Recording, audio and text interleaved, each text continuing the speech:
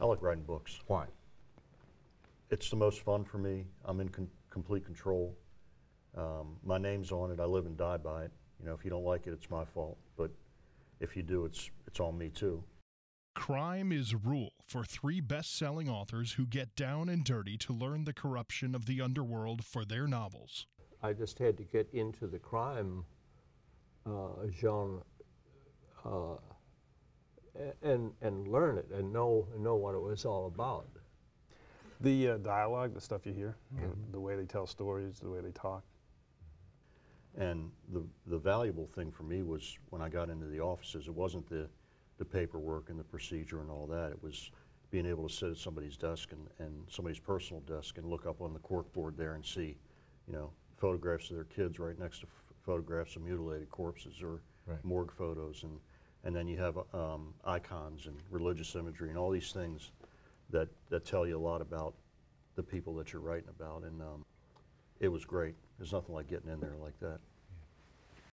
With novels so popular, Hollywood came running and produced critically acclaimed hits in both television and film.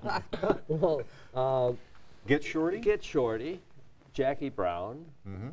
and uh, Out of Sight, Out of sight. and uh, there was some. Mr. you- Ma- Mr. Majestic is, is I wrote the screenplay in '74, and it's still paying residuals today, and that's that's quite an accomplishment. working with people like uh, like Richard Price and David Simon and Dennis Lehane on on that particular TV show, The Wire, made me a better writer. I think just being around those guys and being in a writing room with them and, and talking things out. Uh, Clint Eastwood did a film of one of your mm-hmm. books. That's the only one that's, Right. that's been a film. Join host Gene Edwards with guests Elmore Leonard, Michael Connelly, and George Pelecanos at the Writers' uh, Roundtable as they talk about crime ah, culture and discuss everything from uh, ideas for their stories. You, you get an idea and then you go with it. I saw a picture of a, of a woman marshal in front of a courthouse in Florida where some, some Colombians were being tried for, you know, drugs. And she was standing with her, with a shotgun on her hip.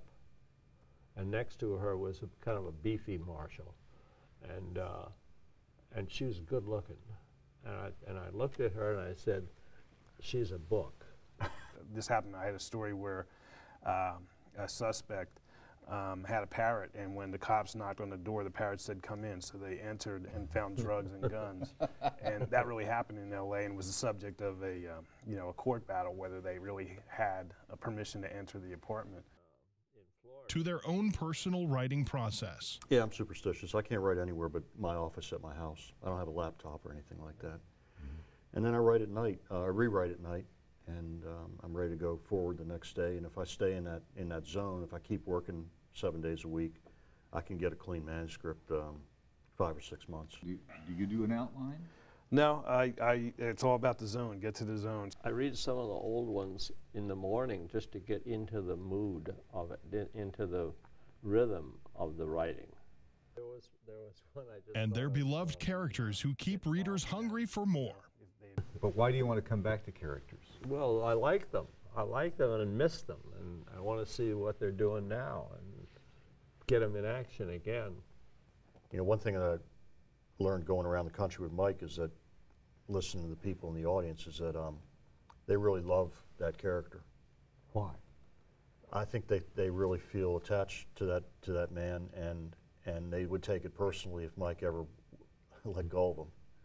And and you don't see that too often, and I, I don't think many writers have pulled it off. Um, James Lee Burke has done it with Dave Robicheaux and Harry Bosch, and there's a few others, but most people can't keep it fresh, and, and the books suffer. But Mike has done a tremendous job. So Yeah, you got to create a character that hooks into people, but there's something that, that readers are looking for. I don't know whether it's the comfort of seeing a uh, character again or what.